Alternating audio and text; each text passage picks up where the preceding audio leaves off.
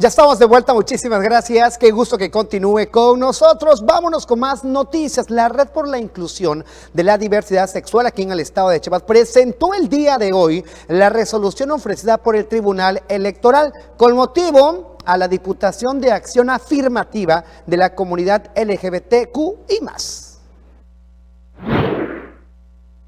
La Red por la Inclusión de la Diversidad Sexual en Chiapas realizó una rueda de prensa en donde dio a conocer la resolución que el Tribunal Electoral les entregó después de las solicitudes que estuvieron realizando en días anteriores en contra de la designación de Sahara Munira como mujer lesbiana en una acción afirmativa a favor de la diversidad sexual. La Red por la Inclusión de la Diversidad Sexual Chiapas, las organizaciones Investigación y Litigio de los Derechos Humanos AC y una mano amiga en la lucha contra el SIDA también impugnaron logrando que el Tribunal Electoral emitiera una sentencia histórica en beneficio de la diversidad sexual.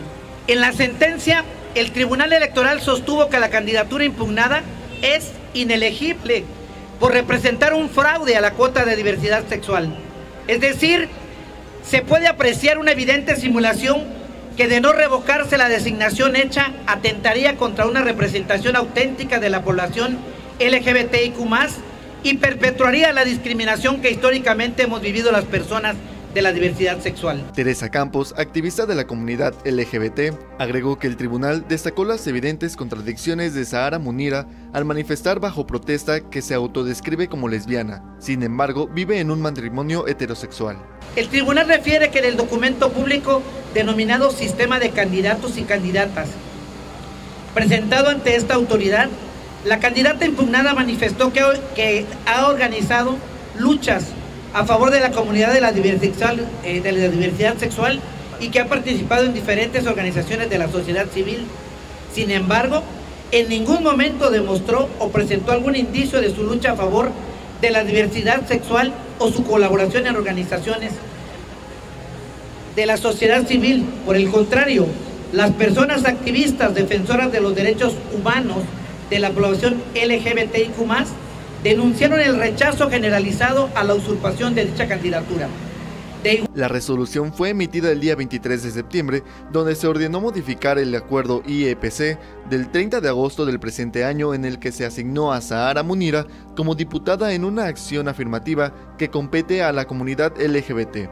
El Instituto de Elecciones y Participación Ciudadana deberá entregar la constancia de asignación como diputada local propietaria a mi persona, debiéndola designar de igual manera a la persona suplente a la candidatura.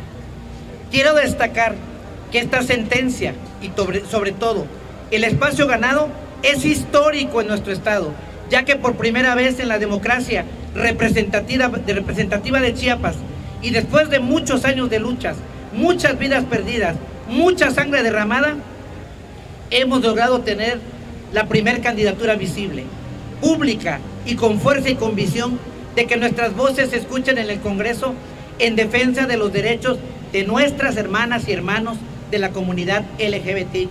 Al terminar, la activista reconoció la imparcialidad, objetividad e independencia con el cual el Tribunal Electoral resolvió el asunto a pesar de los intereses políticos y económicos de la familia León Villar. Con imágenes de Pedro Robles, informó para Noti 13, Julio Huerta.